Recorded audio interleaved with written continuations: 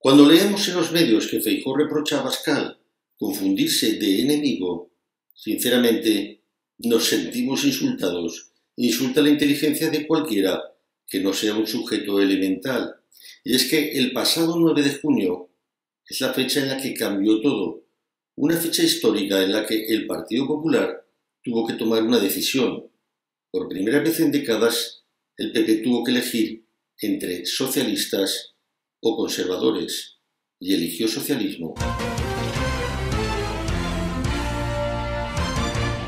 Bienvenidos amigos a este nuevo periscopio en el que analizamos cómo efectivamente en la decisión de Vox ha tenido mucho que ver la determinación total del nuevo grupo europeo Patriotas por Europa para plantar cara a un PP que ya no es más que un aliado del socialismo. Y lo es porque así lo han querido von der Leyen y el polaco Donald Tusk, que son los que mandan en los populares en Europa, aunque empieza a haber algunos países en los que el Partido Popular se está desmarcando de este histórico posicionamiento total con la izquierda.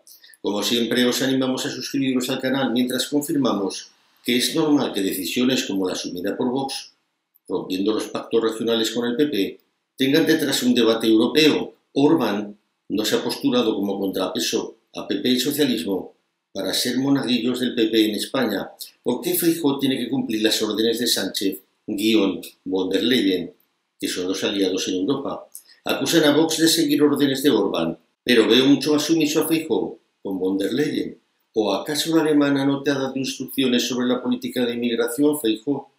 Mira, Alberto, deja de insultar a la inteligencia. Si habéis sido vosotros los que acabáis de decidir en Europa el bando en el que queréis estar, y habéis decidido por Sánchez, sí por Sánchez, era el principal negociador del socialismo en el continente europeo con von der Leyen. Vosotros, hijo, vosotros. Y ahora vas y cuentas la gran oposición a Sánchez que eres y le dices a Bascal que no se equivoque de enemigo. Alberto, a otro perro con ese hueso. Que estáis con Sánchez. Ese público y notorio ha quedado certificado en Europa. La histórica fecha del 9J lo ha certificado. Esa es la realidad incuestionable.